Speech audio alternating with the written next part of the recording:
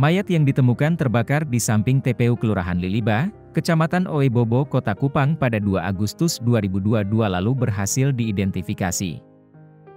Kapolres Kupang Kota, Rishian Krishna mengungkapkan hasil tes DNA yang telah teridentifikasi menjadi langkah awal melakukan penyelidikan secara intensif. Kita sudah peroleh hasil dari pemeriksaan DNA dan informasi data yang kita dapat, identik dengan hasil DNA tersebut, ujar Rishian saat ditemui di kantor Kapolres Kupang Kota, Jumat, 11 November 2022. Demikian Rishian menyampaikan, hal ini akan menjadi langkah awal untuk penyelidikan selanjutnya. Ini langkah awal kita untuk kemudian melakukan penyelidikan secara intensif, dalam rangka mengungkapkan siapa pelakunya dan kemudian apa motifnya, jelas Rishian. Saat ini, motif pelaku belum bisa dipastikan. Sementara masih kita lakukan pendalaman lagi. Kita lakukan penyelidikan, sampai kemudian kita bisa pastikan bahwa ini adalah karena akibat daripada pembunuhan, ungkap Rishi.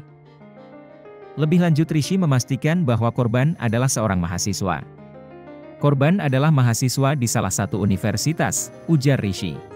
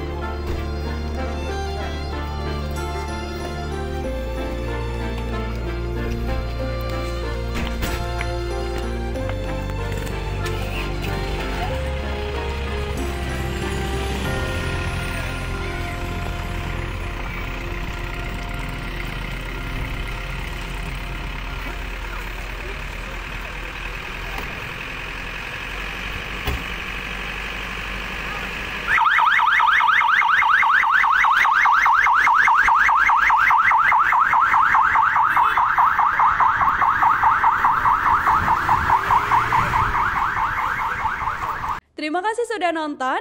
Jangan lupa like, subscribe, dan share ya.